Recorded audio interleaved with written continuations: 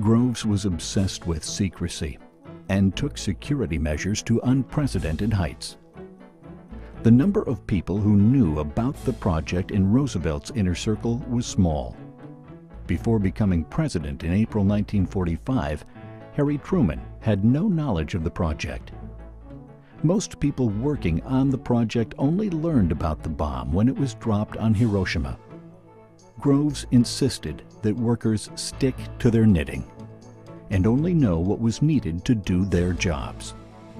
Billboards reinforced his philosophy. As part of the Manhattan Project, General Groves created a vast intelligence and counterintelligence operation directed by Colonel John Lansdale, with William O. Considine and Major Robert Furman as close aides. Deeply involved with all aspects of the operation, Groves wielded extraordinary power as he managed the Manhattan Project. Despite his unrelenting work schedule, Groves found time for his family. He married Grace Wilson, his longtime sweetheart, in February 1922, and they had two children, Richard and Gwen. Like his father before him, Groves drove his son to achieve to the highest levels Richard went to West Point and also joined the Army Corps of Engineers, eventually retiring as a three-star general. His daughter Gwen was still in high school during the war. She often played tennis with her father at the Army-Navy Club at the end of the day.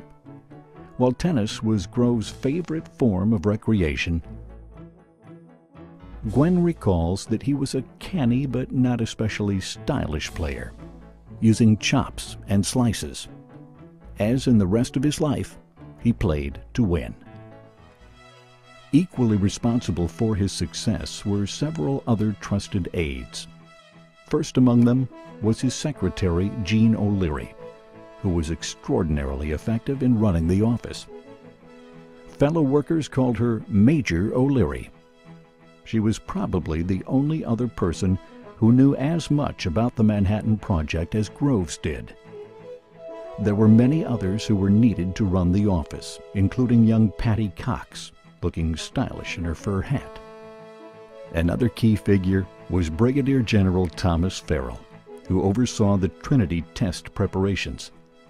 On July 16, 1945, the test successfully detonated a plutonium bomb Grove's team had produced the weapon that would end the war.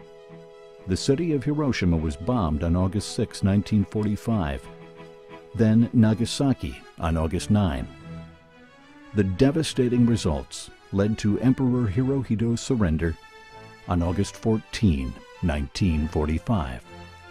As a personality, Groves was uncomplicated, patriotic, and traditional. As an officer, brusque determined, and decisive. Colonel Kenneth Nichols, in charge of the Manhattan District Office at Oak Ridge, said of Groves, He knows he is right and so sticks by his decision. He abounds with energy and expects everyone to work as hard or even harder than he does. If I had to do my part of the atomic bomb project over again and had the privilege of picking my boss, I would pick Groves. Groves remained proud of his accomplishments in the Manhattan Project. The atom bombs did bring an end to the war in the Pacific, and he believed had saved countless lives. After leaving the Army in 1948, he embraced life in the private sector, working with the Remington Rand Company, spending more time with his family, and playing lots of tennis. When he died in July 1970, Atomic Energy Chairman Glenn Seaborg wrote, He was a source of constant amazement to all of us in the Manhattan Project. He had the deep respect and admiration of his staff. Decisive, courageous, and determined, Leslie Dick Groves was undeniably the Manhattan Project's indispensable man.